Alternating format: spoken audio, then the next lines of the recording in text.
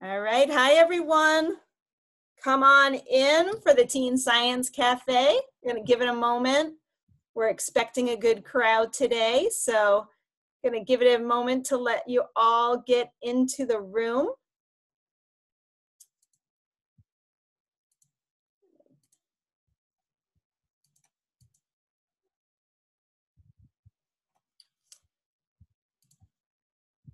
and play around with a couple of things so I can see. So as you all are entering the room, just give me one moment. I'm going to introduce myself in just a second. Yes, I, my uh, Eva and Emily, you've been here before. So hi everyone, I'm Lauren Traster. I'm the 4-H Teen and Leadership Program Coordinator here at UVM Extension with the 4-H program. Some of you have been with us before, and that's awesome, so you know the drill. But for those of you who are new, we love for everybody to introduce themselves. So find the chat box and tell us your name and where you're from. And I see we have some of our friends here from Vermont. Um, John, just so you know, we do get participants from all over the country. So hi, Manvi from Missouri, and Adrian knows that I love Rhode Island. So thank you for always calling that out. And we have Flip, Philip from Lexington, Mass.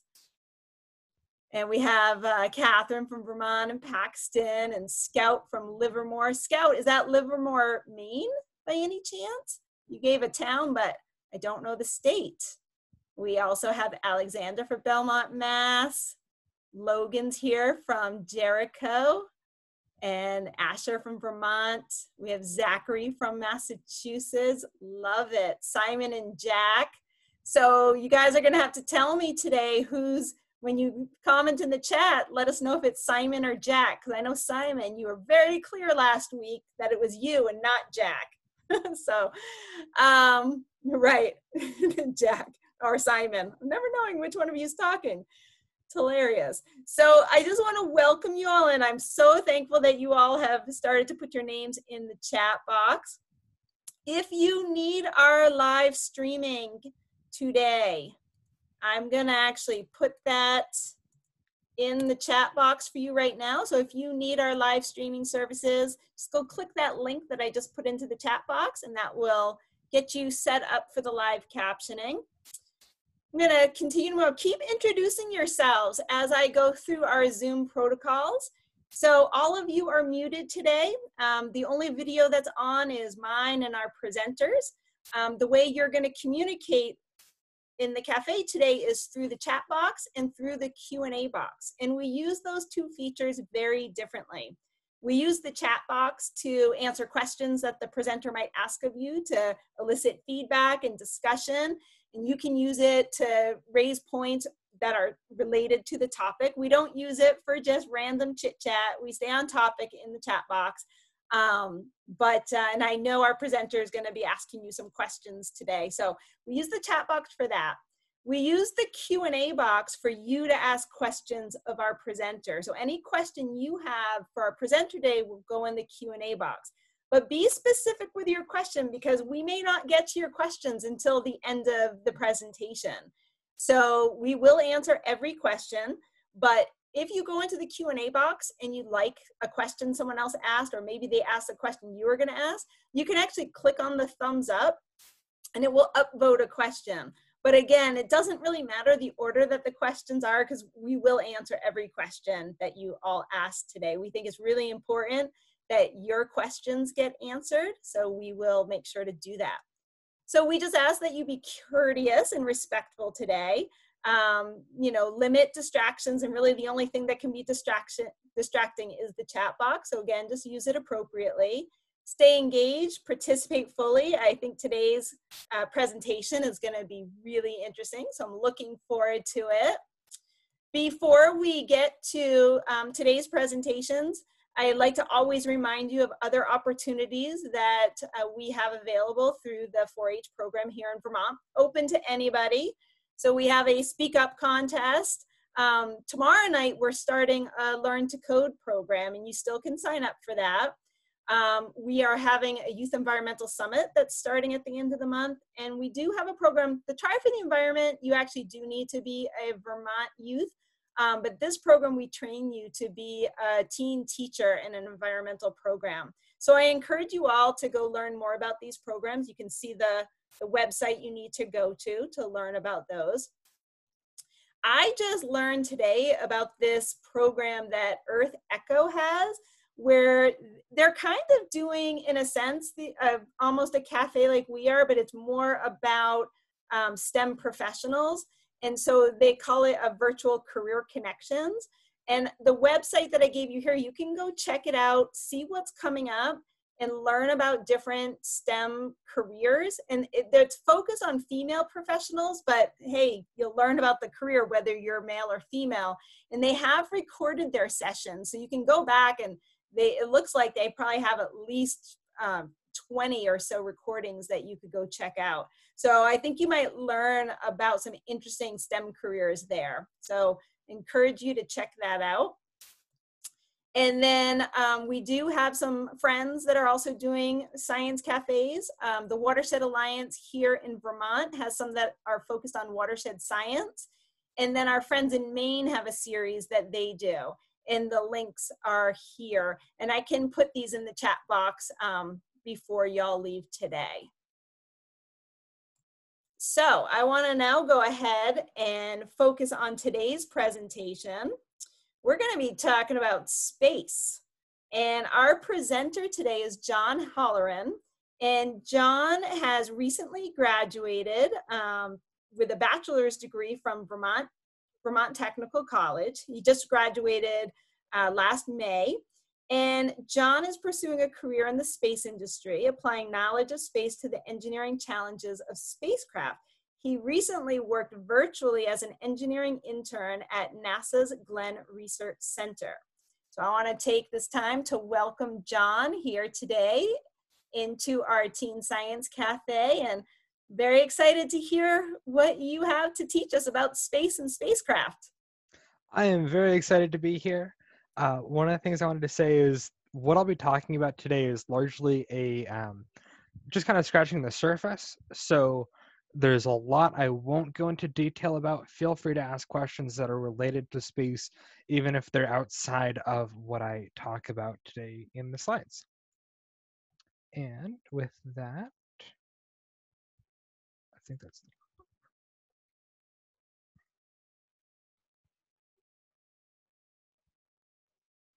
uh, is the slides working?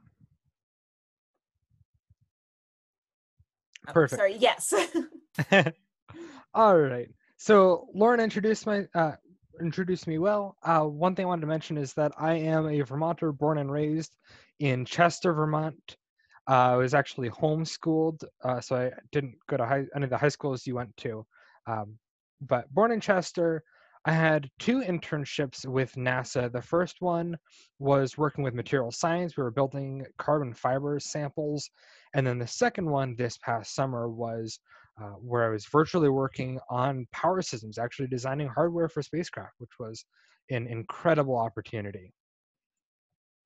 And let's see. Let me get my notes pulled up. So today, uh, this is the overview of what I'll be going through. I'm focusing on the environment and the challenges associated with space uh, of which there are many, as we'll see. so to start out, I'm going to talk about the very basics of rocket science. What is rocket science? And then we're going to follow a particular mission, the mission of Apollo 12, through the different phases of that mission. And after that, that provides us a story to follow. And it's also, I chose this particular mission because this happened just over 50 years ago. Uh, so this is the year of the, the actually the year of the 51st anniversary as of ne- uh, November. After we talk about Apollo, we will talk about the uh, some of the more modern things, the International Space Station, which is currently in orbit, uh, and then talk about the future, the far future, which is Mars, and the near future, which is the Artemis program. After that, we'll go into Q and A, uh, which again, feel free to ask any sort of space-related questions. There will be questions sprinkled throughout the presentation, uh, feel free to just type in your best guess in the chat box. There's no consequences for getting it wrong, and it's always fun to test your own knowledge and, and learn new things. So uh, that is something to engage with. And with that, let's start on the topic of the, the very basics of rocket science. So rocket science is used as kind of the epitome of, of something that's difficult. Oh, we say, oh, at least it's not rocket science. But the truth is, rocket science itself is not all that difficult. It simply relies on Newton's third law of motion, which states that for every action, there is an equal and an opposite reaction. With a car, a car travels by pushing against the road. An airplane travels by pushing against the atmosphere. But a rocket doesn't have anything to push against. So it has to bring its own fuel because it pushes against that fuel by pushing that fuel out the back at very high velocities and having a high amount of mass, it is able to accelerate in the direction it needs to go.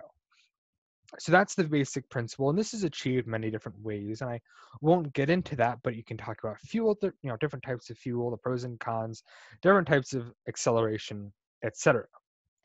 But we'll be talking about chemical rockets, uh, like the one you see here. So the most important equation in rocket science is, is the one you see here, the rocket equation.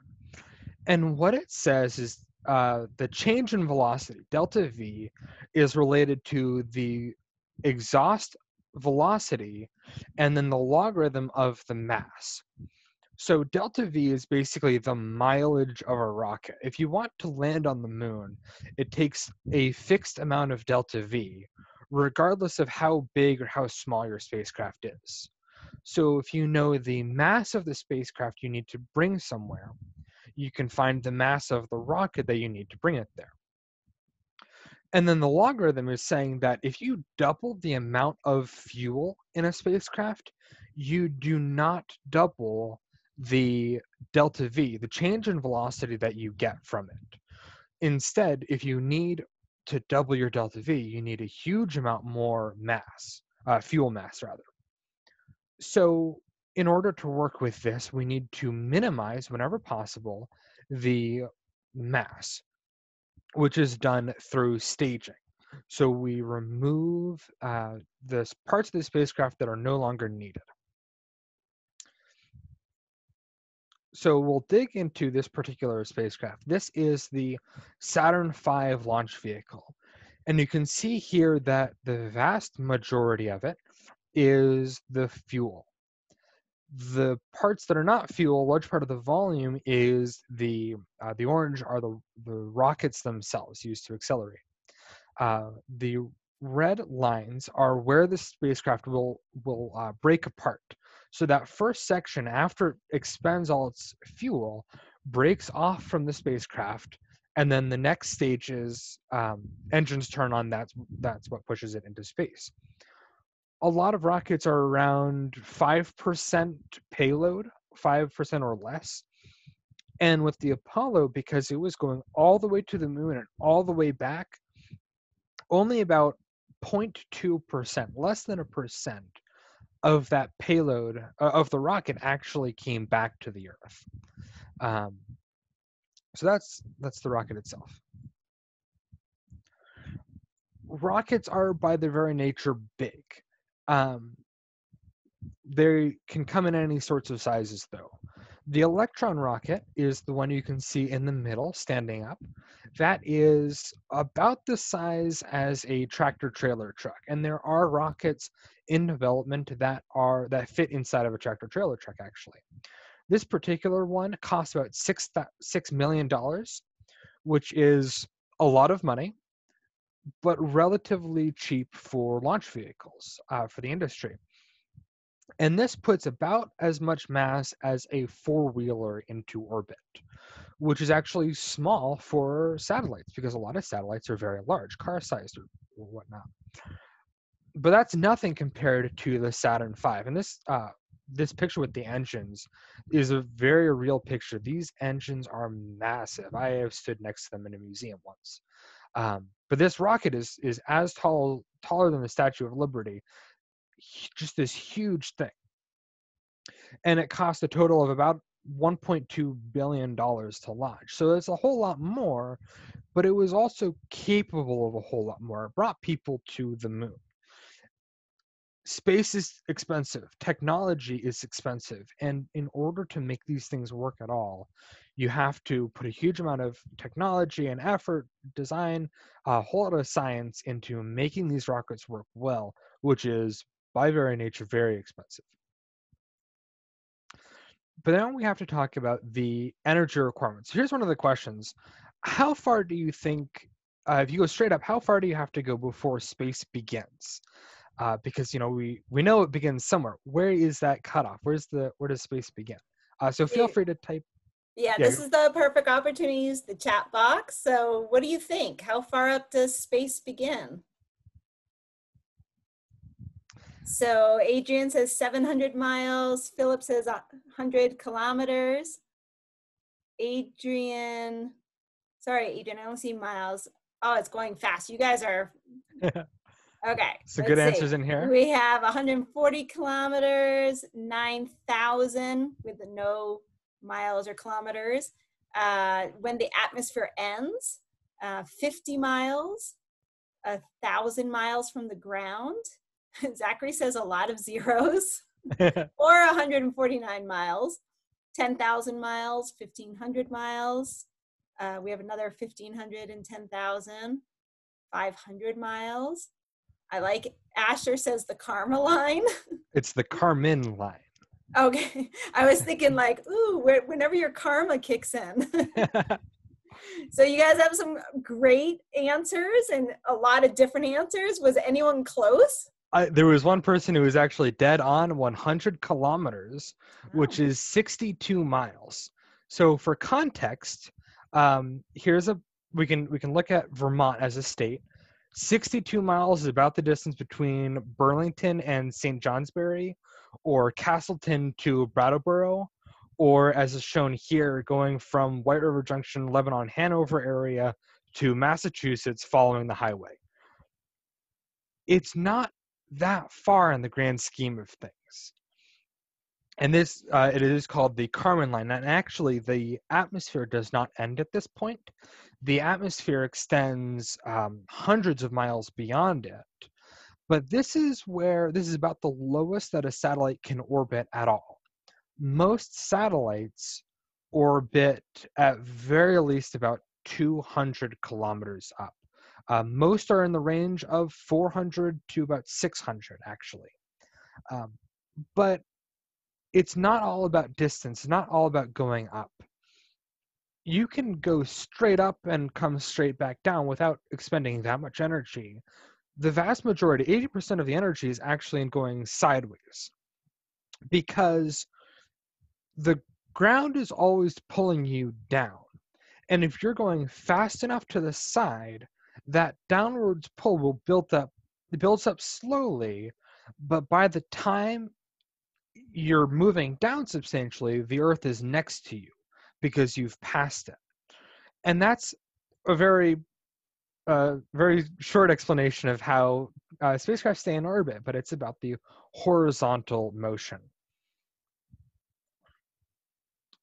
So a lot of that is talking about um, the the basics of rocket science and now we're going to get into the actual environment itself and and the challenges associated with it. So the very first thing is launching. Um, you may have heard a, a rocket launch before it's just this great big roar. People who have been in person experience uh, say it's just this this rumbling in the chest that you can feel. And there's this huge amount of vibration and acoustic energy from every rocket launch and nothing experiences that like the satellites. The satellites have a huge amount of vibration because they're actually on the rocket. And this has torn apart spacecraft before uh, the the vibration. So what we do is uh, before you can launch you have to uh, put this on a test stand and shake it, uh, throw acoustic energy at it. They have great big speakers um, to just see will this spacecraft actually be able to survive the the test environment, the launch environment? In addition to that, there is atmospheric pressure. You've got a fast moving rocket going through the atmosphere, which would tear off small parts. So what they do is they put a fairing, like you can see on the bottom picture, um, and that encapsulates the payload, the satellite, so that nothing breaks, nothing comes off. It keeps it safe. Now, acceleration is an interesting one because most um, most satellites are okay with large amounts of acceleration, but people are not. People don't do well when it comes to about 4Gs. So when we're launching people, the rockets need to throttle down in order to keep that acceleration low. And the reason the acceleration is changing because as you burn fuel, you have lower mass, but your thrust is constant. And uh, F equals ma, so your your ma- your acceleration is proportional to your, your mass and your uh, thrust. So you have a higher acceleration. Now, many engines are not capable of actually throttling down. So for the Apollo rockets, they had five engines on the bottom and they would turn the center one off. They'd just turn it off to limit the amount of G's. In addition to that, uh, there is the weather to consider.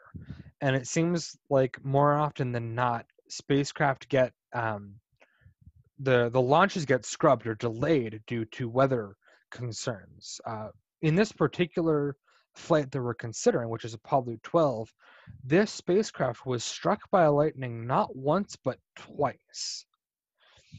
And I won't get into exactly why, but uh, it damaged a lot of the systems and nearly caused the system to uh, the mission to abort. But they did make it into orbit eventually. So one of the the the questions is what are some of the challenges that you can can think of that come about from the um, the being in orbit? What are the, the challenges? And from um, a lot of it has to do with there's a low probability of something going wrong in a short time span but there's a constant chance there's always opportunity for something to go wrong and every mission will end at some point uh, so what are some of the, the challenges that you can list of, of things in orbit? Um, debris yes that is one we'll talk about. Yeah, uh, have, no uh, breathable air is definitely an important one.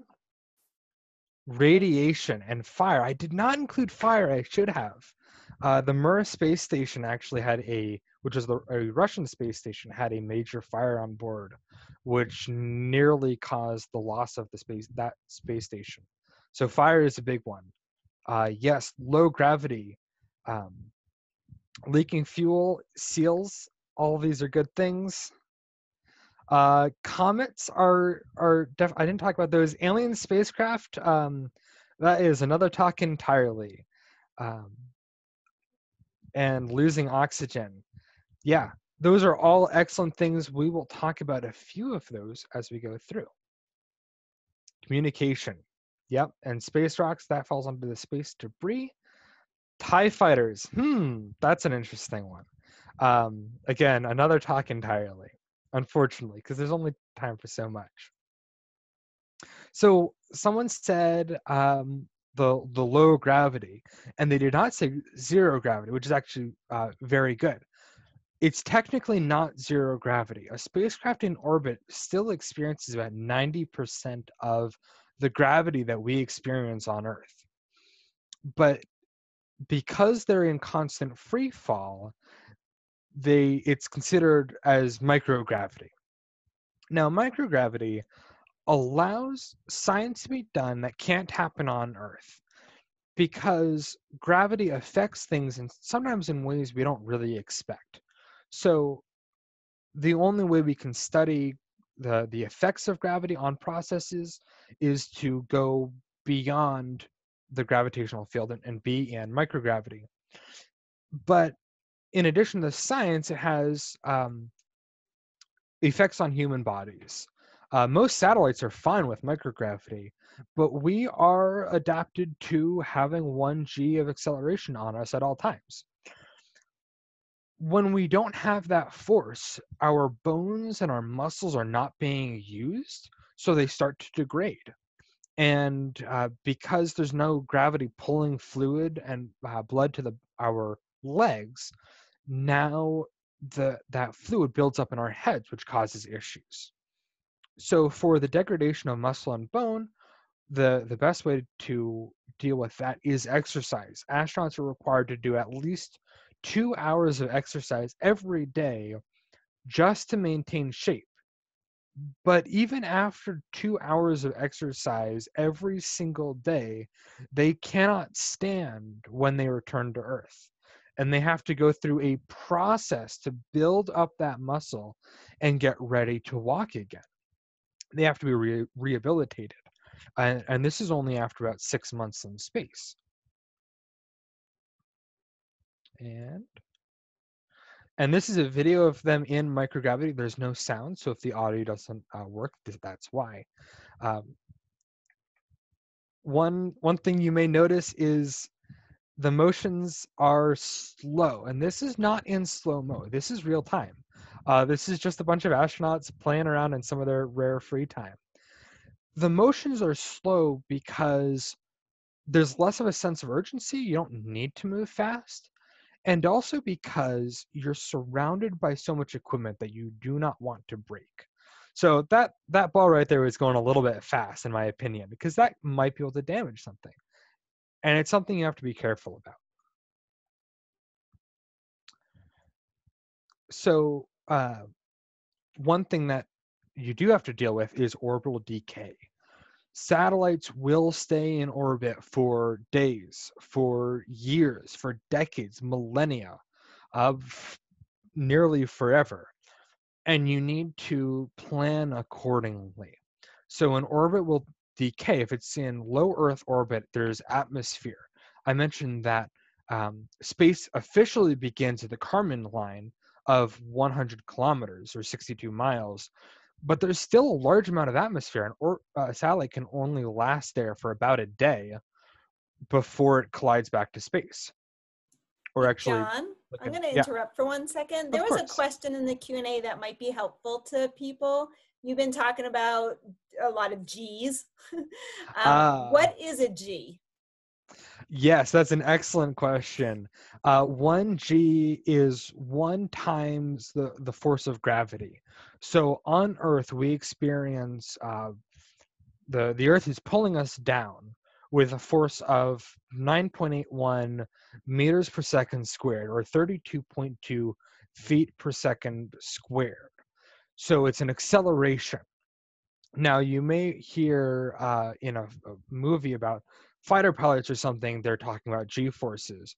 When they do a maneuver, they are rapidly accelerating, which means they're under many g forces.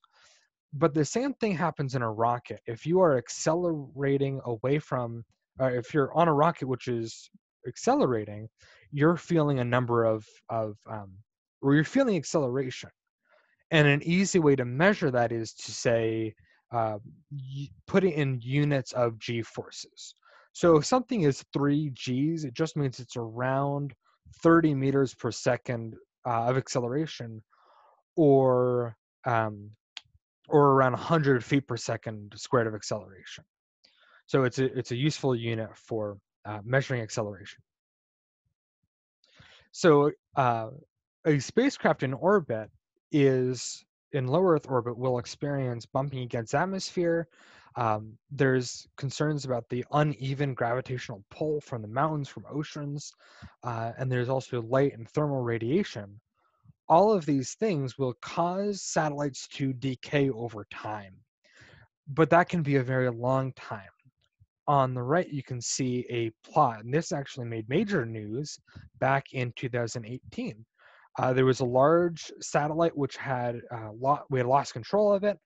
We're not able to communicate. Didn't know when it was going to or um, enter the Earth's atmosphere. Usually, for large spacecraft, we can uh, plan the deorbit and we can actually make it deorbit over the ocean where there's no risk of damage.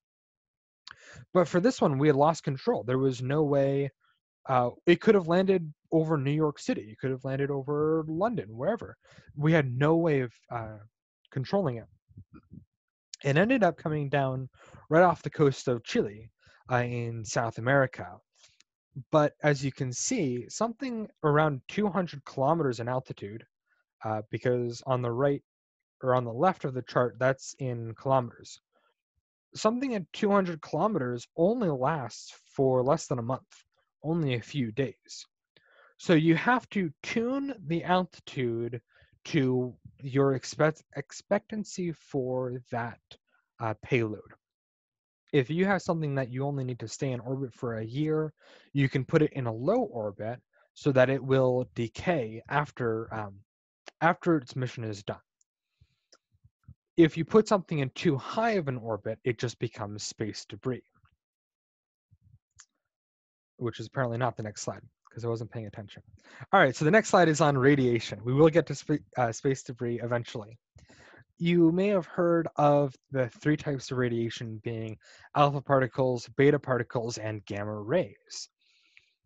And each of them is stopped by a different layer of thickness. But in space terms, we talk about more than just those three types of radiation. We talk about things like cosmic rays, solar flares, and trapped radiation. So, cosmic rays are often accelerated from um, galaxies uh, a long, long time ago and very far away because of through supernovas, black holes, and things where um, there's a lot of force and acceleration. These particles can have incredible amounts of energy. Uh, there was one particle that was measured. A single particle had about as much energy as a, I think, as a football, or sorry, as a, baseball being thrown. The same amount of momentum, same amount of energy which is ridiculous because this is a single particle. When, uh, when these hit Earth, they often break up in the atmosphere, though. So they collide with um, high, high the, the, the sparse atmosphere high up and will rain down in a shower of different particle types. Um, but those are from galaxies a long, long time ago and far, far away. Solar flares are events with the sun. So the sun can accelerate particles. Now, the acceleration is smaller, but the magnitude, there's a whole lot more of them because the sun is nearby. Um, so these are, are from the sun, and these are often uh, blocked by the Earth's magnetic field. However, then you have trapped radiation because in blocking these sorts of particles, the radiation can get trapped inside of the magnetic field. So there, and then uh, we can look at something like UV light, which is technically another type of radiation. The worst type of UV light is UVC, ultraviolet C, which means it is far, it's more energetic than UVA, which is only a little bit beyond violet. Uh, so UVC, the worst type, is blocked almost entirely uh, by the atmosphere very early on, whereas UVB, some of it still gets down to the ground, and UVA, the majority of it still gets down to the ground.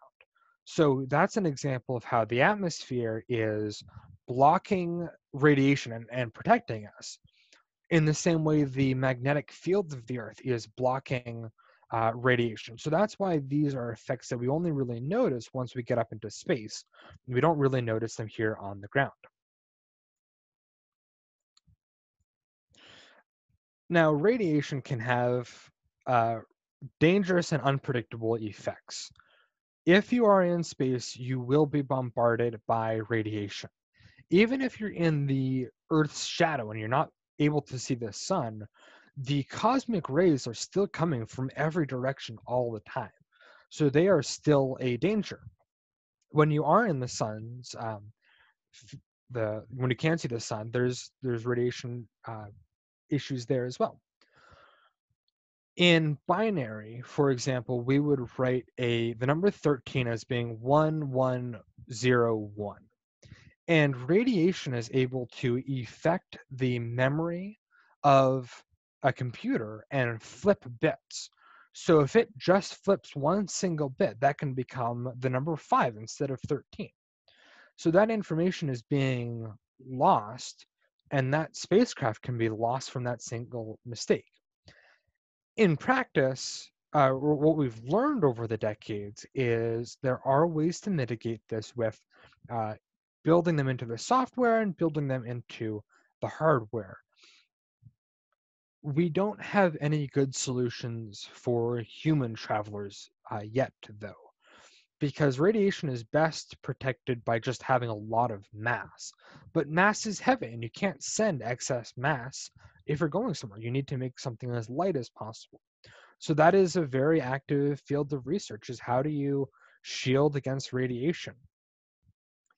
Um, and astronauts have a increased risk of, of diseases and cancer because of their um, exposure. And it's not far and above what everyone else has.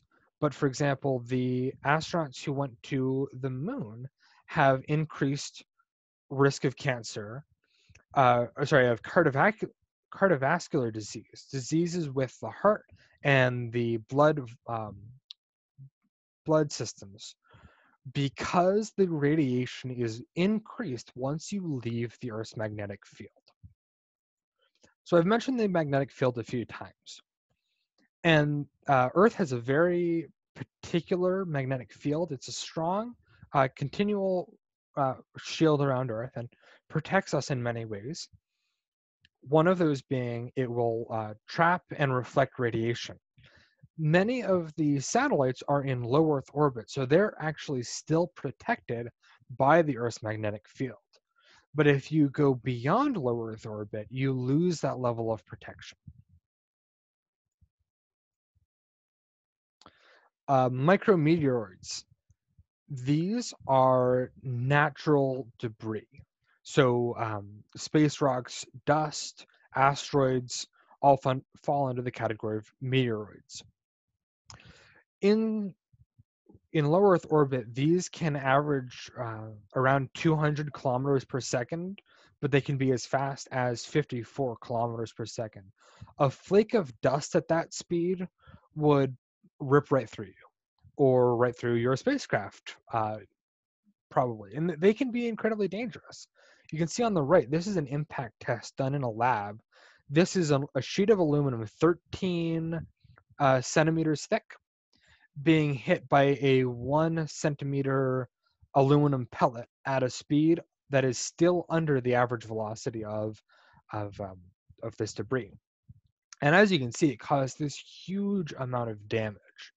If it had been a little bit more powerful, that bottom piece might have come free and flown into the spacecraft and done damage, even though there's this thick aluminum plate. So adding more mass is not a practical way. You can't do that all the time for protecting uh, spacecraft. Instead, we use something called a Whipple shield, uh, developed by Mr. Whipple, apparently. And what happens here is um, these particles are so energetic that if they hit pretty much anything, they explode. They'll puncture right through that thing, but they explode in the process. So you have a very thin layer of like Kevlar, for example, and then you have a foot of distance or so, and then a sheet of aluminum. Notice in this image, that sheet of aluminum is much thinner. It seems about a centimeter. And here, the particle has exploded on that front layer and only causes scorch marks. It doesn't, it doesn't dig into the aluminum because here it's dissipating all of its energy over a large area. So this allows uh, simple and weight effective protection against space, um, space dust and space debris. So this is a very important method. Uh, but the uh, micrometeoroids can have other effects as well. At any moment, they could hit someone who's doing a spacewalk. So it's important to build a spacesuit in a way that can protect uh, against micrometeoroids and, and space debris. and over time they will wear uh, wear down on the spacecraft solar panels and, and things like that. So it's important to understand challenges like this. Uh, but space debris is a little bit different. These are man-made objects and are uh, there's a whole lot more of them, but they're moving at uh, lower velocities on average. Now, by lower velocities, I mean somewhere in the range of four kilometers per second to 10 kilometers per second. So, you know, it would take about a second to go through town, um, or less than a second. It's still ridiculously fast, but can be a little bit easier to protect against. Um, these are often old spacecraft, satellites, and such, but they can be rocket stages, which can be multiple tons. They can be the solidified exhaust from rockets, but they can also be from things like uh, paint flecking off of a stage, and that be- that becomes space debris, or collision debris. And we'll talk a little bit about that later right now there are about 3,000 active satellites in orbit. And compared to about 4,000 dead satellites. So these are satellites that are no longer serving their function uh, we're not able to deorbit them. So they're just in orbit until they decay naturally. And this is a big problem in terms of tracked pieces of space debris, which includes the categories above, there are 34,000 pieces larger than 10 centimeters, which is about this big. And these can cause serious damage to any any sort of a spacecraft. And all those numbers are estimates, but um, governments keep a very close tab on tracking all of the the debris in orbit. Now, you may have heard of the Kessler syndrome, and this is uh, this is kind of the worst case scenario for space debris. And it stems from the concept that space debris makes space debris. If you have a small piece of debris and it collides with a satellite, that will make more than one piece of debris. It can ruin the satellite for one thing, but it might break off thousands of other pieces or whatever if there are too many things in orbit that can be broken apart, a chain reaction can start where one satellite explodes from a small collision, and then all of those little pieces then collide with other spacecraft, which collide with more spacecraft, and eventually, not only are there no spacecraft in orbit anymore because they've all been destroyed, but all of their debris, all that dust makes a layer around the planet and we can't launch new satellites anymore. So this is a, a real concern uh, that could happen. We might be getting to the brink of of something like that happening eventually. Um, but there are also ways to mitigate this. One of them being uh, use a low life orbit. So if you know your your spacecraft is only going to last for five years, you can put it in a five year orbit. You could put it in a orbit where if the satellite dies, it will deorbit within two years and then use fuel to just keep it in orbit. Which will mean that if you're set if it suddenly dies or something it will still be deorbited on a, on a timely fashion. Um, you can remove dead satellites from space. That's really expensive but might be what we need to do eventually. Um, and another thing is you can actively avoid satellite uh, debris in orbit this is what the space station does, for example. If there's a high risk of collision, it will uh, do a maneuver so that it's not in the same place at the same time with this debris to avoid the debris. Now, many people will point to the SpaceX Starlink satellites and say, you know, SpaceX is going to like double the number of satellites in orbit which many people say will accelerate the Kessler syndrome. And I, I disagree with that, and I'll explain why. The satellites are in a five year orbit. That is, if they lose communication right now, they would deorbit within five years, which is still enough time to cause issues. But they have thrusters on them so that as long as we still have communication, they can deorbit within about a, a month a few months. But what really breaks the Kessler syndrome to me is this active debris avoidance, which is uh, the Kessler. When Kessler proposed this, he was thinking that these satellites were in the orbits that they would always be in and they couldn't move. And now we're seeing technology where satellites are able to know there's a possible collision and perform a maneuver to avoid it. Um, so the Kessler syndrome is certainly something we need to be concerned with, but I think it's less of a concern than some people make it out to be. There are plenty of other things that will uh, cause issues for your spacecraft, though, such as thermal management. On the right, you can see the New Horizons spacecraft. This spacecraft went out to Pluto and was able to photograph Pluto, get measurements, did a whole bunch of exciting uh, science. And here you can see this yellow coating. This is called uh, MLI, multi-layer insulation. And um, it provides insulation to keep the heat inside the spacecraft because the sun is so weak. You'll also notice there are, um, there's like these fins to the right of the spacecraft. That is a, a way of generating electricity that does not require sunlight so that it can go as far away from the sun but still have power. On the bottom is the Parker Solar Probe, which went in the exact opposite direction. This satellite is going down to the sun, and it will actually enter the sun's corona uh, with some very clever engineering, which I won't get into. But this one uses reflection. It needs to reduce the amount of heat. So depending on where you're going, you need to consider the thermal uh, factors.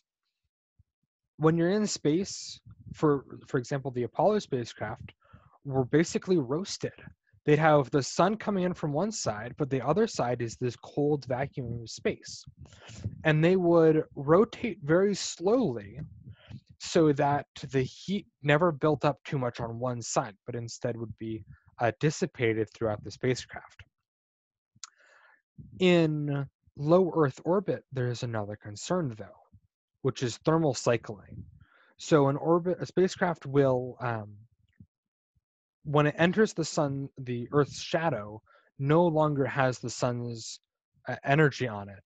And then when it comes into the sun, suddenly there's that heat present. And that thermal cycling can cause uh, material fatigue and other issues so thermal cycling is one of those things that you don't really learn about much when you um, i guess you don't really think about much. It took me a while to, to learn much about it. That's what we want to say about um, being in orbit.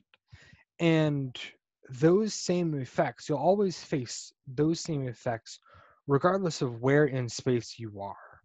But there are other um, forms of space. So after this point uh, we have translunar space. So what does what does it mean to be and this is a question for the chat box what does it mean to be uh, translunar or cislunar uh, in space Oop, that's not what i want to I was gonna say, and, is Adrian's response to this question? It's like a marshmallow being roasted. Uh, yeah, Eva, so that the thermal management is exactly like roasting a marshmallow. You don't want all the heat on one side. You need to uh, spread it out across the, um, the marshmallow. We've got some other comments. It means past the moon, something about the moon, between the earth and the moon. I don't know. Around the moon, between the moon and the earth, like right in the middle.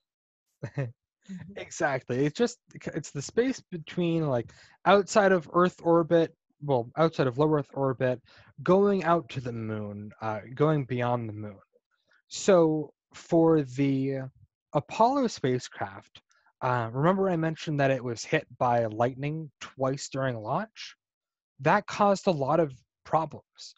But during the launch sequence, they didn't have time to diagnose those issues. So the orbit went in, uh, the spacecraft went into orbit around the Earth, for a few hours while they diagnosed every single issue that could have come up with the lightning strikes. and eventually they determined that it was safe to go on with the mission.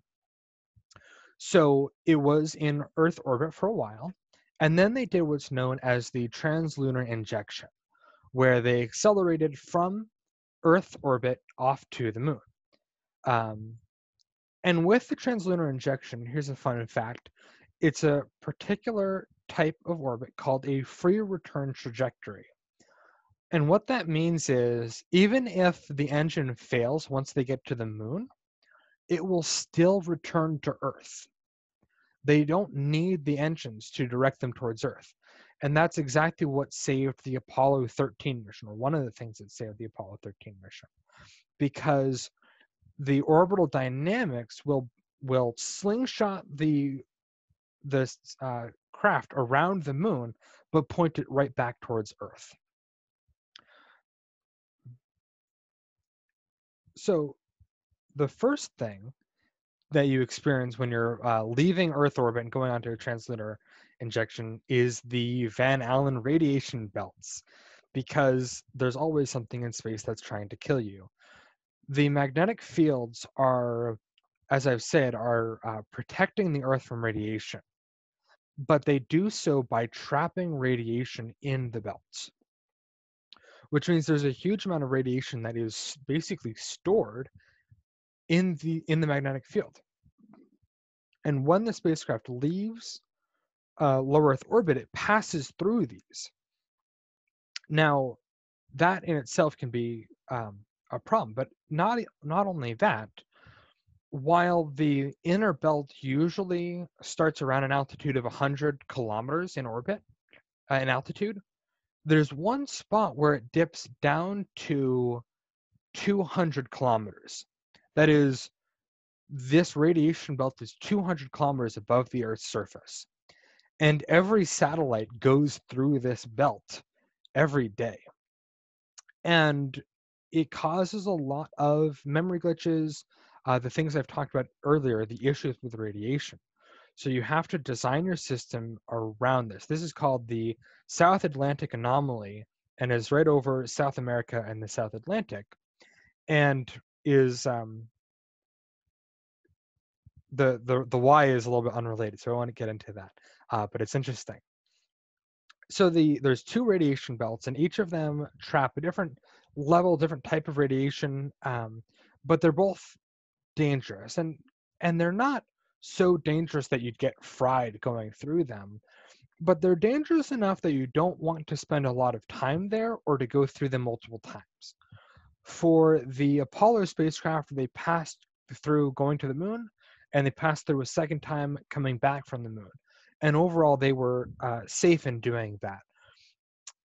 But you're also leaving the Earth's magnetic field. And because you're leaving that field, you're no longer protected by the magnetic field. So again, the Apollo astronauts had a high have a high risk of cardiovascular disease because they spent only a week outside of the magnetic field of Earth, or up to a week. Uh, you also have to deal with the effects of there being constant sunlight on your spacecraft but overall, the on the way to the moon or on the way to Mars or wherever, you're dealing with the same effects that I've already mentioned. Uh, the environment hasn't changed all that much until we get to the lunar surface. So again, Apollo 12 was a lunar mission to land on the lunar surface. Uh, how long do you think uh, Apollo 12 was actually on the surface of the moon? So this is the time between uh, the spacecraft landing on the moon, and then they would go out and do science, whatever, and then they they took off and returned. How long do you think that was? We've got a day, a month, less than 24 hours, a couple of hours, four, four hours, hours 30, 30 minutes. minutes, two to three days, an hour, a few hours a mm-hmm. week, four, four hours, hours, two, two days, days, three months. Anyone close? I wish it was three months. Uh, yeah, some of them were pretty close. It was 32 hours. 32 so hours. not quite two days. Yeah. But, you know, it was much longer than the uh, Apollo 11 mission. I forget how long they were on, but I think it was 12 or something. Every Apollo mission, because there were uh, six Apollo missions that landed on the surface, each one stayed a little bit longer on the surface than the past one. Um, and we'll go into that a little bit in uh, a little bit later. But the lunar surface poses a whole new set of challenges, namely the challenge of the regolith. So we talk about the moon or Mars having regolith, but we don't say soil. What's the main difference? What are the differences between what we call regolith and what we call soil? Why do we not say the lunar soil? What do you guys This think? Might be a little bit too technical, but just shout out any anything you can think of without googling it. It has been broken down, texture. Textures I'm going to very throw in that there's no microorganisms, Hmm. composition, no oxygen. You can't, you can grow stuff in soil, porous, too rocky. Soil also includes bacteria and other microorganisms. Uh, the regolith is a bunch of dust. There's a lot of very good answers in there. Actually, a lot of people are hitting it right on the head, which is that there's no microorganisms, there's no organic matter. It is, in fact, just rock. It's like sand or gravel. It can be of any size, but there's nothing living. Um, but while that is important, um, that's the the distinction between regolith and soil. The texture is what makes regolith so dangerous, which is it's bombarded by these charged particles, by micrometeorites, by all these different things, which cause pockmarks and spikes and odd shapes on the rocks. But they don't have any wind to smooth them out. You would never find dust with a shape like that on Earth. But on the moon, every particle has an odd shape, and these can, it's kind of like asbestos. It can get in your lungs and cause um, lung damage. It can get on your space suit and wear away at the joints of your spacesuit. It can break down the fabric. On the very last Apollo landing mission, Apollo 17, they had been out in the regolith so much that they were afraid to go out one last time like they were scheduled to do because they thought that the joints on their spacecraft would fail. It was just too high of a risk. So it's just it's again this this battle of attrition. It's it's always uh, causing damage slowly and you never know when it will start to fail. So we can work around this in a few different ways one of them being most of these particles are electrically charged and thus they can be removed from a spacesuit with an electrical signal, um, electrostatic removal. You can design a spacesuit that is only on the outside of your spacecraft or your space base, and thus you never have to bring that dust inside of the spacecraft, uh, and things like that. So there's there's a huge amount of effort that goes into designing a space suit. And this is why you can't bring the spacesuits that are on the International Space Station. You can't use those for the moon. Those are designed only for the microgravity environment, and they can't handle the regolith. So we need a new generation of spacesuits. But there's other effects as well, namely the low gravity. Um, so how long do you think the the Apollo 12 mission had was actually outside of their spacecraft, walking around collecting samples, uh, things like that. So we've got an hour. Yeah, Declan jumped right in with an hour. Had Anyone ready. Four, Four hours, Just minutes, Minutes. Another four, four, hours, 30, 30 minutes, a few hours, six hours minimum, 10 minutes, 10 minutes. four hours. So this is actually again their EVA time was longer than the um, longer than the EVA time of Apollo 11 because they were here to collect samples. Uh, so there's some some very close answers here, uh, but the, the real answer is seven hours and 45 minutes uh, because they wanted to maximize as much time as they could. So again, there were two um, two astronauts on the surface, and they did two different EVAs uh, with a total cumulative time of, of almost eight hours. Uh, but that was the time on the on the surface. Uh, and again, every every Apollo mission, they were able to spend more time out there and doing more. And without going into too much detail on the difference between mass and um, and weight, there is a very important distinction there. Weight is how uh, gravity is pulling on you. Yep. Uh, weight is how gravity is pulling on you. Um, mass is your resistance to acceleration. On the moon, there's low, uh, you have less mass, or sorry, less weight, but you still have the same resistance to acceleration. So it's hard to jump. You still feel like it's a slow jump, but you go further when you do it. So now we have a video.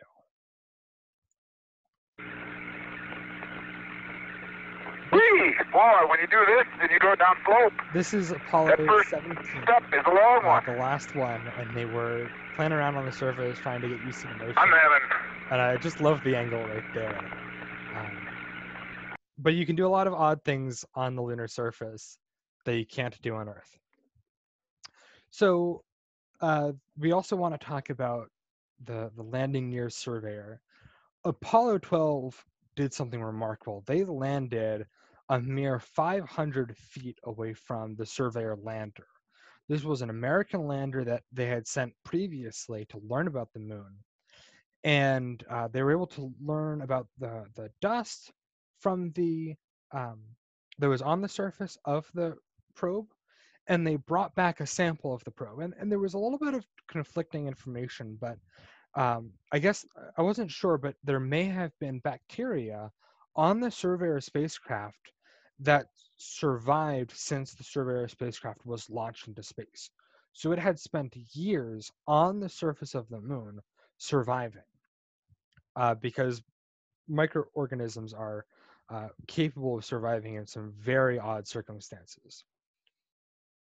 And I've compared this mission often with Apollo 11. And this is um, Apollo 12 is interesting because it was the very first mission to bring people to the moon, which had the goal of science. President Nixon had challenged the, or Kennedy, uh, had challenged us to go to the moon and bring a person back within the decade's end, but that was politically motivated. And the Apollo NASA was able to add science to the to the mission, but it wasn't just about science. So Apollo 12, they had already completed Kennedy's challenge. But now they were going back for the sake of, of doing more science, getting more samples. Uh, and they were able to accomplish that that is the story of Apollo 12 in a uh, brief summary. But there's always more to talk about. So now I'm going to move to some of the more modern, um, more modern things. So uh, the International Space Station has been in orbit for a long time. Uh, so I have two questions here. One being, when was the last time that we had humans launch from Earth going into space? And the second question is, uh, what when was the longest continual presence of humans in space? Let's see. So Emily says 1999. I think they're answering both Uh, questions. So I saw yeah, two to- years for continual uh, or a year or so. And then someone thinks the last So- launch was SpaceX.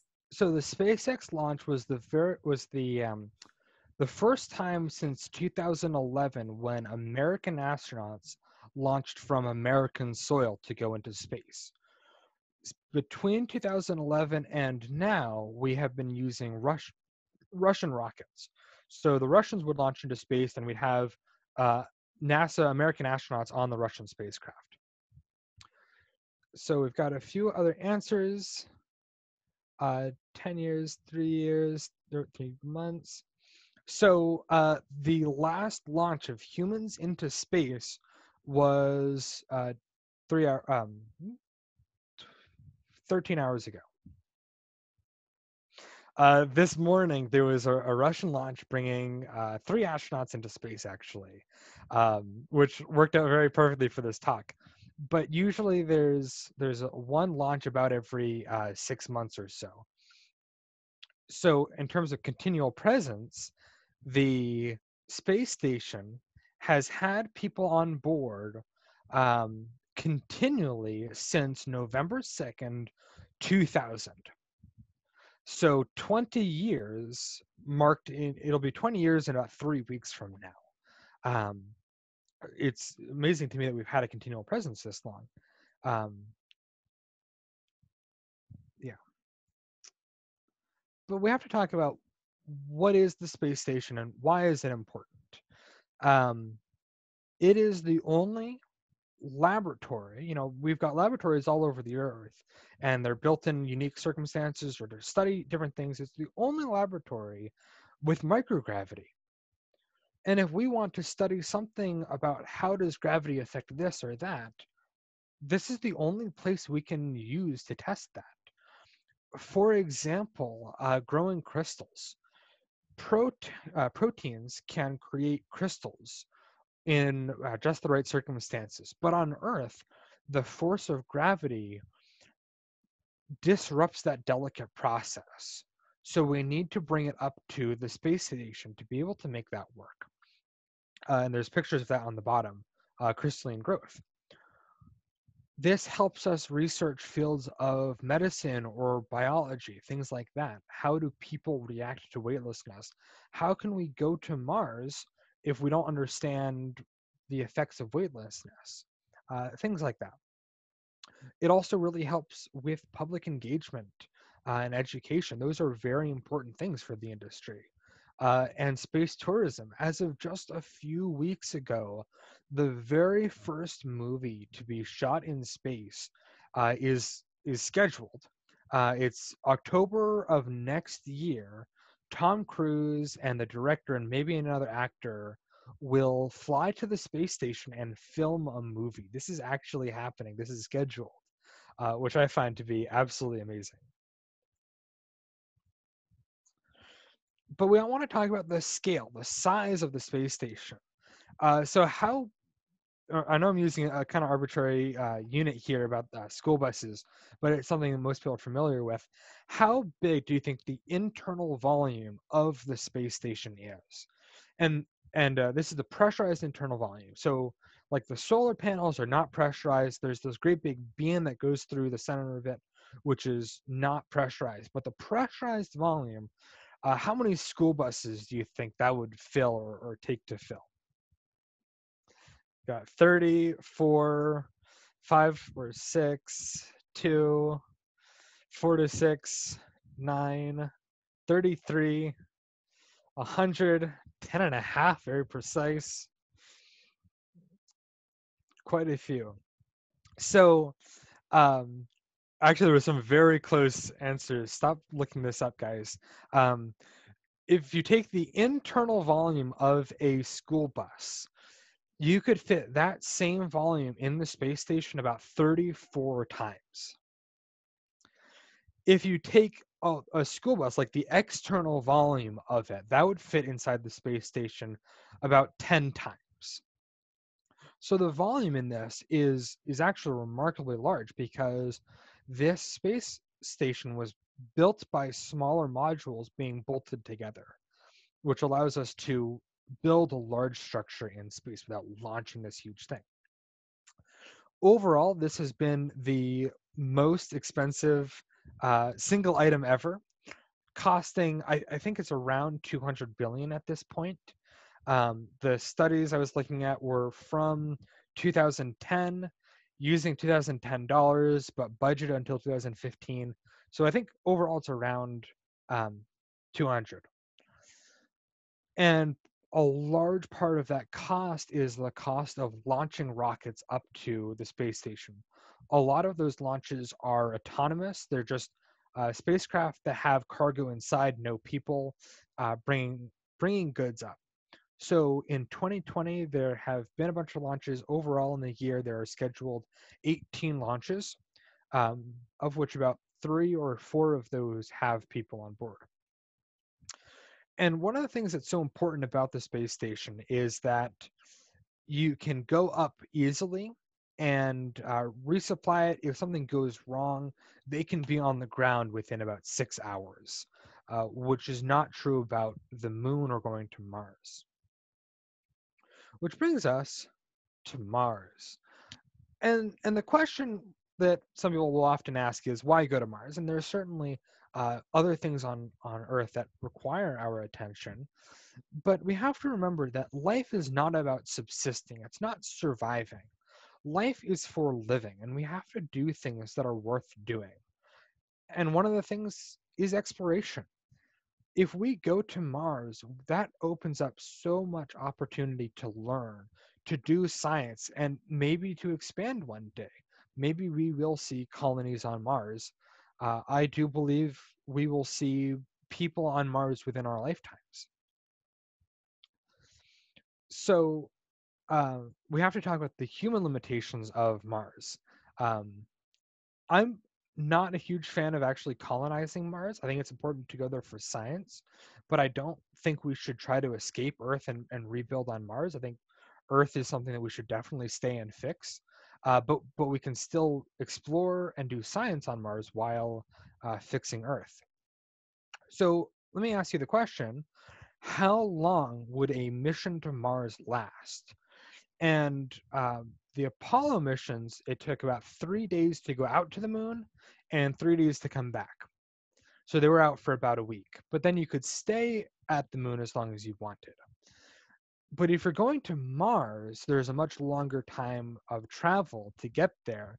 And then you have to wait for a, a specific amount of time before the orbital window uh, allows you to come back. So we've got a few answers. Uh, 80 years, which is a little bit high, though, if you're going there for life, that sounds about right. Um, maybe two years, three years with eight year total, uh, three or five years, two to three. Uh, there's some some good answers here. Uh, six and a half years, three to five, uh, eight months. Oh, that's very close. So it's the travel time just going to Mars is nine months. You have to wait nine months just to get to Mars. And then after that, you spend another three months at Mars before the launch window opens up for you to spend another nine months coming back from Mars. So overall, it's about 21 months, so a little bit more than a year and a half. That's a long time. Most astronauts that go to the space station spend about six months there. Only three astronauts have ever stayed more than a year, and they were barely more than a year. So we have a lot to learn and a lot to we have to learn how to mitigate these challenges before we can bring people to Mars. And one of the requirements is uh, remember what I said about after six months in space, you can't stand anymore. You have to be rehabilitated. But if you're going to Mars, you need to land and then just hop right back up and get to work.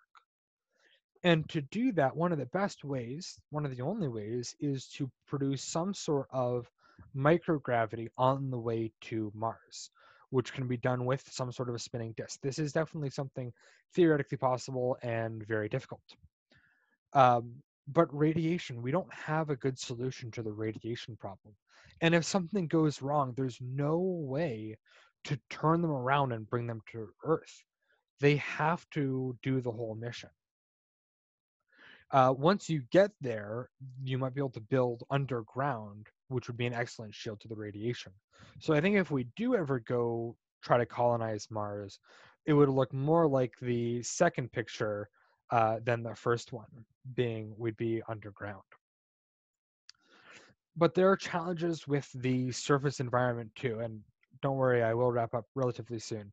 Um, so the gravity is about one third, so you still have gravity, but your your atmosphere is much lower than Earth. There's no way you can breathe it. You can't really use it for anything. It's very difficult to land a spacecraft because of the very thin atmosphere and the the regolith here is it does have wind on the planet so it's a little bit less rough than on the moon but it's still a challenge Um, and then there's the the speed of di- uh, light delay.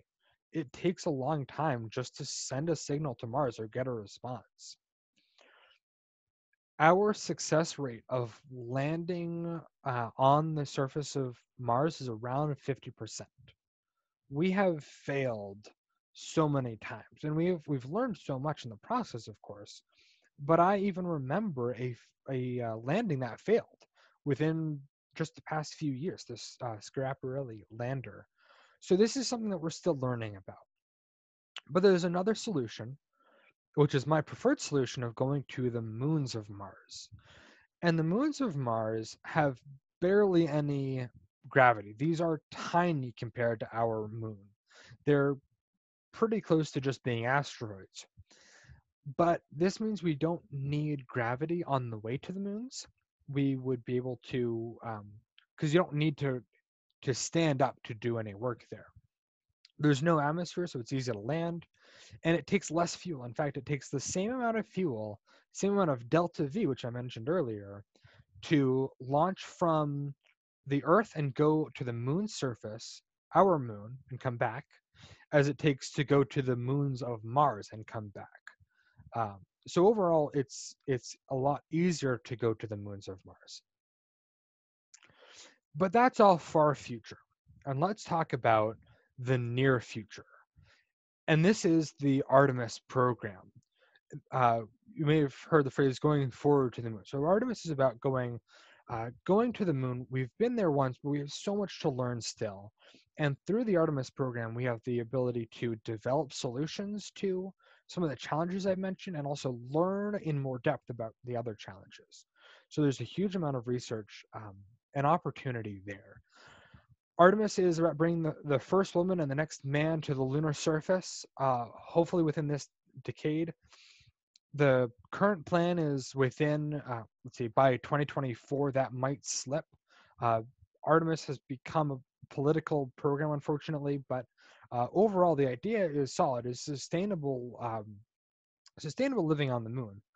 Maybe one day in our lifetimes, we'll be able to talk about the continual presence of humans on the moon, as we talk about the continual presence of humans in space.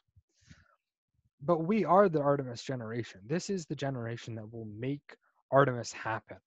Um, and I've been able to work at NASA this past summer. I had an excellent opportunity working on some of the things kind of related to Artemis. Um, but the people who will go to Mars first are probably alive right now. And that's just amazing to me. But this is overall not just the NASA side of things, but the commercial side of things, which is where my interests really lie. The industry is just growing at an exponential pace. There's so much to learn, there's so much opportunity. Uh, so if you are at all interested in space, uh, now is the time to be born. So welcome. Um, to conclude, to wrap up, uh, space is difficult, but space is rewarding. And that is just like everything else in, in life. Life is full of challenges, it's full of uh, things that are worth doing, but might be hard to do. Everything that I've talked about today, I have learned because I wanted to learn it. I didn't have any classes that taught me these things. I didn't need to learn these things for my job or anything like that. This is my passion. Go out, find the things that you're passionate about, and just dive into them, learn about them, and excel in those areas because it's really up to you what you want to do with your life. So do the things that are worth doing. Find those things and get to them. But that brings us to are there any questions? Yeah, so we do have a lot of questions, and I want to thank everyone for. Uh, we are running long today, uh, but um, what I'm going to quickly do is I'm going to launch a poll just to get some feedback because I know some of you probably have to jump off soon. Just quickly take the poll, and then we're going to get into the questions. Um, I'm going to ask, please don't add any more questions to the Q and A Mm. unless there's something like you absolutely have to ask because we've got 23 of them in there already. so it'll take a little bit to get through them. So just go ahead, take this poll. If for some reason you don't see it, just uh, put your response in the chat box. We're looking for rating today's cafe and on a one to five scale and rating new knowledge that you gained. So I'm gonna just give it a couple of more seconds, trying to get a couple more of you to respond. All right, I'm going to close the poll so we can get into the questions. All right. So, John, I'll read them for you so you can respond. And again, I understand we're running long. Please stick around for the questions. We're going to go through them because we are recording. So they will be there. If you need to leave, you can always come back to the recording to hear the answers. But the first question um, that is being asked is I've heard stars twinkle because of the atmosphere. How does the atmosphere change the light to make it twinkle? And is that true? That is true. And this comes down to um, atmospheric distortion. So the atmosphere is always moving um, due to winds, due to heat motion, and things like that. And this causes refraction like a lens, but this happens on, on micro scale. So random motion in the atmosphere will cause the light to bend a little bit. So when you're looking some straight at a uh, star, you might have less light one moment or more light the other, depending on how that atmosphere is moving. So it's really about the the refraction, the microscopic movement of the atmosphere. The next question: um, What does takeoff do to your body? Also what is the comparison of how fast you're going on earth compared to how fast you're going when orbiting? So when you're going through takeoff that is a lot of g forces it's kind of like riding a roller coaster but it's only about eight minutes. So you're on a roller coaster for eight minutes. Overall it's not that challenging on your body. The challenge is once you're up in space because then you're exposed to the microgravity and the radiation in terms of speed, I I apologize because all my numbers are in metric. Uh, but if you're on the equator, the Earth's rotation means you're going around 600 meters per second. Uh, but if you are in orbit, that is 7,000 meters per second. So you're going about 11 times faster while in orbit than on the surface. Okay. What happens if you spend 40 years in space? If you spend a long time in space, your muscles will become very weak because you are not using them. Your bones will degrade and become very brittle because, again, you're not using them. And the um, you have a very high probability of having cancer or other kinds of diseases like that. Do you think we will ever go to Jupiter? Uh, there is a movement to go to one of Jupiter's moons, Europa, because there it's an ocean world. There's a small possibility of there being life there. Um, I think that at this rate, assuming that the the rate is constant, we will end up there. Um, whether that rate remains constant or if we wipe ourselves out with some uh, something stupid is a whole nother question. Is it possible to create a machine to accelerate particles? Yes, uh, that is what the Large Hadron Collider and other particle accelerators are doing. And by accelerating particles and colliding them into each other, they're able to uh, create enough energy that you can study it and learn about fundamental physics. Would you have to worry about the texture of regolith on Mars if the ground of Mars even is regolith? So the ground of Mars is regolith because again, there's no organic life or uh, or organic matter. It's just a layer of rock. The texture would be a concern, but less of a concern than uh, Mars because it's the texture's a little bit smoother, but it's still not like sand. It's still rough two related questions here. Uh, what, the first question is, is a sunburn partially caused because of UVA and UVB? And then related question, how do the different types of UV light affect us? Both good questions. UVA is less energetic than UVB. UVB is what causes the skin, um, what causes sunburns, I believe, where UVA is less of a um, less of a challenge, and then UVC would cause a faster sunburn. Uh, it would be worse, but we don't get much of that. And they're they're not like hard cutoffs. You either get one or the other. They're just light in this particular range of wavelengths would be considered one type. Light in the other range is the other type. In the same way that we consider the visible light to be of different colors. If any regolith was brought back from the moon, would it be possible to grow anything on it? So there is there's actually um, I forget how many pounds of samples have been returned from the moon, but we do have large amounts of lunar samples. And you can't grow something on it as is, but if you throw in some organic matter and let it break down, I think it can eventually be used to grow life Hmm. or to grow plants. Why does lead protect against radiation more than other substances? It doesn't. Lead protects against radiation effectively because there's a lot of mass, it's very dense material. But if you have one pound of lead compared to one pound of aluminum, say, both of them will ultimately provide the same protection, um, but you would need a thicker sheet of aluminum.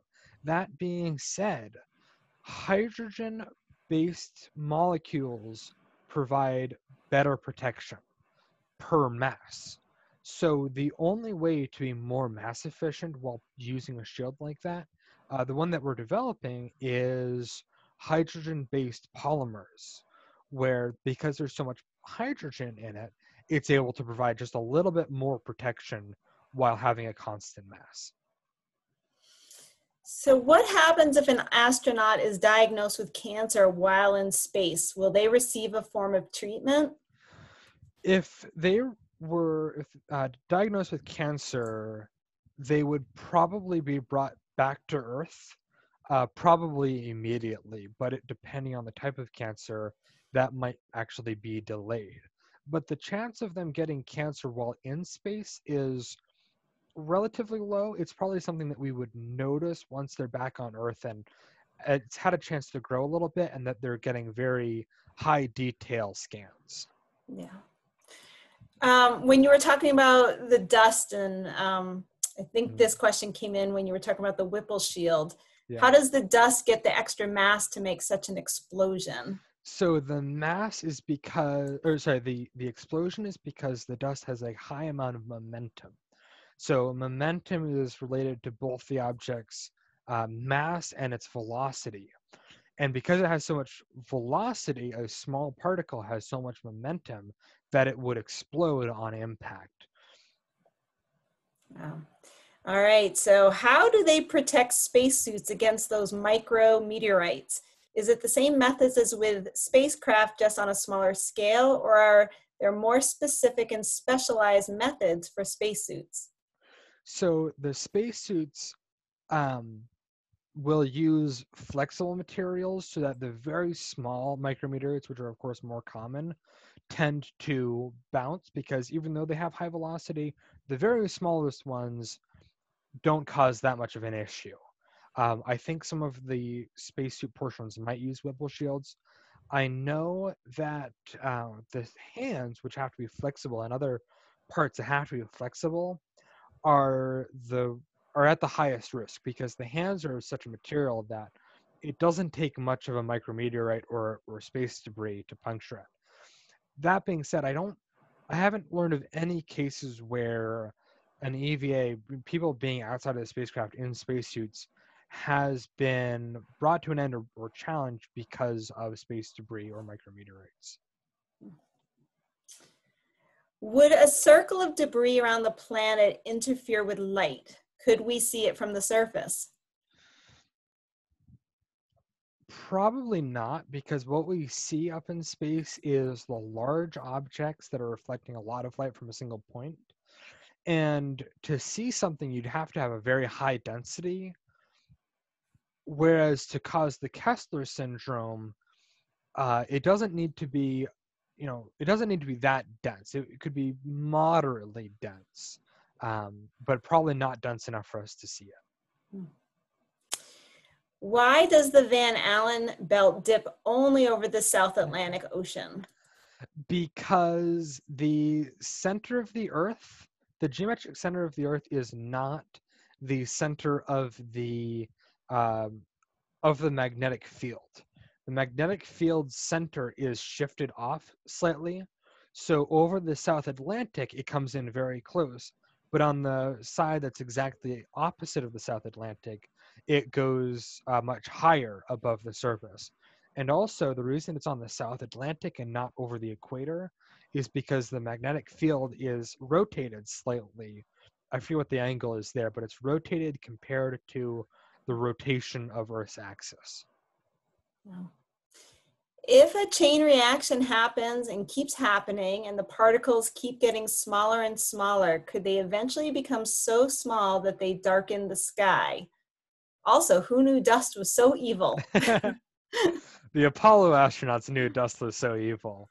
Um, again, I guess that is a possibility if there is a high enough density, but I, I think that we wouldn't quite have that sort of density. Hmm. Would different foils reflect sun differently? Like, would holographic foil reflect more heat than regular foil? And what foil do they use in the outside of spaceships and satellites? So, the uh, New Horizons spacecraft, which I showed, which had that yellow, and also the Apollo landers, you've often seen those having yellow. Those are, I believe, Kapton tape or Kapton layers with um, with a, in a layer of aluminum on them. So it's called aluminized Kapton.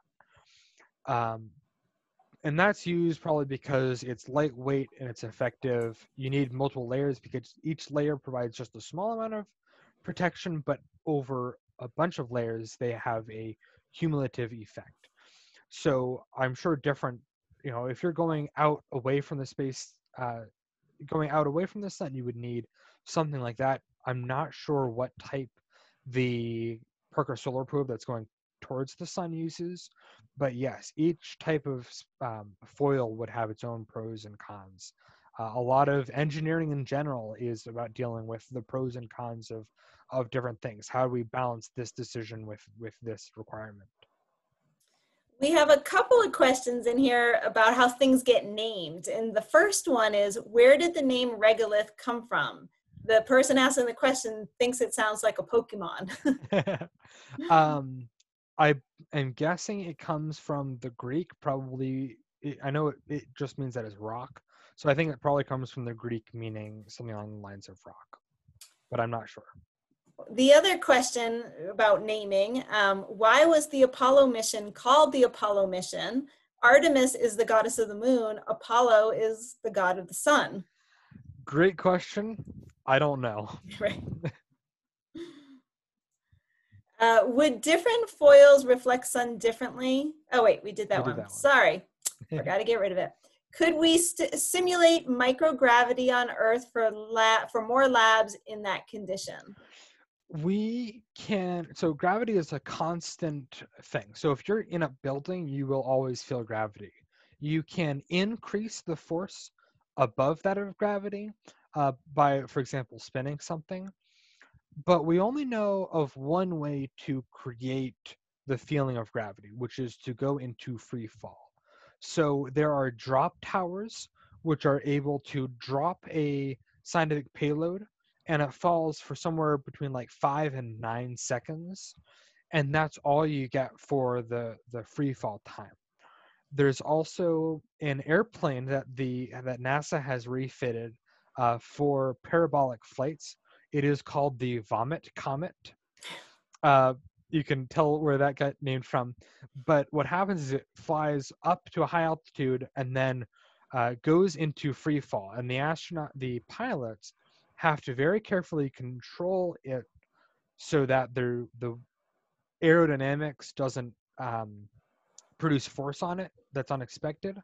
So they have to accelerate downward in just such a way that uh, the people inside get somewhere between like 15 or 20 seconds of zero of microgravity uh, or or very close to it. But again those are very limited in, in scope. So if you have an experiment you want to do the first question is can you do it in that short time step? Because if you can those are so much cheaper than bringing it into space but if you can't then it has to go to the space station or have a dedicated satellite studying that thing did you say each apollo mission lasted longer than the one before yeah so for example once we got up to apollo 17 um, I think they were on the lunar surface for about seven days or something like that. Uh, and they had numerous EVAs going out onto the surface, collecting samples. They were able to, they had, by that point, they had these buggies, little electric cars, uh, that they were able to use to drive around on the lunar surface and get many miles away from their uh, their lander but that of course took a long time. So each one was able to do more than the previous ones. Why haven't we gone to the moons of mars if it takes the same amount of fuel to go to our moon so it takes the same amount of fuel but it would be very difficult to um, bring people for all the reasons that i've mentioned. So for example um, food. I didn't even mention food. That's probably something i should have talked about. Food is a consumable. In um, when we went to Apollo, we had to bring all of that food, all of the water with us. In the space station, all of that can be brought up whenever it's needed. We launch every every about every month new supplies to the space station. But if you're going to Mars, it's so much mass that it's very difficult to take all of that food with you. So instead of taking all the food, all the water, all the resources with you, we need to learn how to recycle things effectively and uh, maybe grow things on the way to the Mars, things like that. So while it takes the same amount of delta V, we need to learn how to build these systems. And because those systems will be so heavy, it would still take larger rockets than what we use for, for Apollo. Nice. And I want to thank you all for sticking with us. We got our last question. Uh, when you said it has become political, what did you mean by that? And it, why is that a bad thing? That's a good question. A lot of people will talk about, um, let's see, judging by the timestamp, I'm guessing that's referring to Artemis. Yeah. But I've also referred to um, Apollo as being political. A lot of people will say, oh, Apollo was just about politics and use that to degrade it. And I, I, I disagree with that. Apollo was only achievable because it was a political matter. If without that political pressure, there's no, um, there's sometimes not the the uh, the pressure to get things done. When I said that Apollo had, or sorry, that Artemis had become political, the the reason I I, I think that's an issue is that the purpose of Artemis what is to go back to the moon sustainably. And I think that because of the political pressure to do this in, in a particular time stamp and to do this in a particular way, I think because of that pressure, it loses out on the sustainability. And I think if we took longer time, we would be able to do it at reduced cost and thus increase sustainability. So I would love to go back to the moon. I think it's an important step. I think we should definitely do it before we go to Mars. But we have to learn how to do that in an affordable way. And I feel like the Apollo program could be improved upon in that in that area. Well, great. I want to let's all thank John for wow, just a ton of information. This was so interesting. And I was seeing in the chat, many who have already had to jump off thought so too. So I want to say, first of all, John, thank you for coming and sharing your expertise with us today. I want to thank all of you for sticking around and coming. Hopefully, we'll see you next week. Um, as always, we have another great presenter coming. And so, everyone, just enjoy and uh, you know, just think science, right?